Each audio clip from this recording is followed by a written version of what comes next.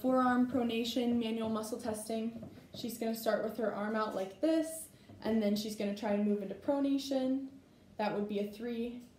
If she can do that, then I'm going to grab her hand like a handshake, and I'm going to oppose by trying to supinate, and she's going to oppose the opposite way by trying to pronate. And if she can lock out, that would be a five. If she can't, that would be a four. Now, if she can't get a three, then she's going to have her arm up like this and try to pronate without gravity. That would be a two.